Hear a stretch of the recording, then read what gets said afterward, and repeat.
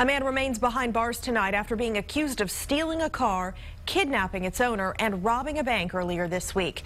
Police say Ronnie Worthy threatened the woman in a hospital parking garage, but she managed to escape, and now she's telling her story to our Amanda Brandeis.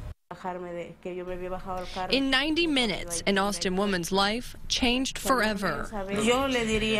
If I can tell him anything, I would tell him how much harm he's done to one family. For her safety, we've concealed her identity and will call her Maria. This week, a trip to the doctor turned into a fight for her life.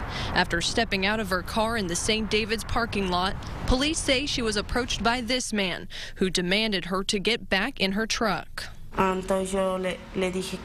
I said no, and he pointed his gun at my face, and he told me, get in the truck, and so we both got in the car. He said he would let her out once they left the parking lot, but that wasn't the case.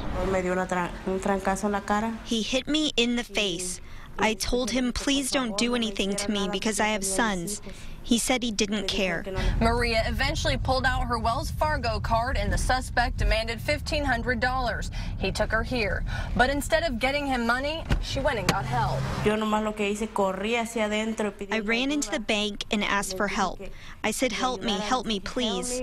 And they asked me what's wrong, what's happened. And I told them I was kidnapped. Bank employees ran outside and the suspect was gone. He went on to rob a bank in Bastrop and was later caught by police. I felt better. I felt God had given me another opportunity for life. I felt I had been reborn. While she's afraid to go outside alone now, she's grateful for a second chance. Amanda Brandeis, KXAN News.